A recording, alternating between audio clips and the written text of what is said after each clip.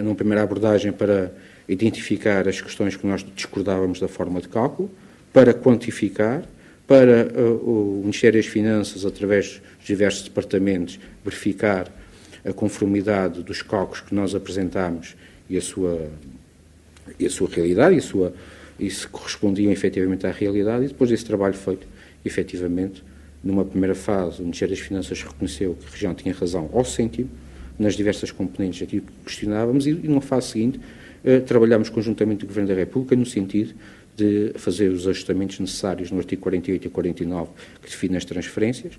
as transferências diretas e as transferências no âmbito do Fundo de Coesão, para adequar a lei para a correção desta situação e, assim, permitir um reforço de 75 milhões de euros das transferências para a região autónoma dos Açores, que visa, única e exclusivamente, eh, anular uma errada avaliação do impacto da alteração do sistema de cálculo do IVA.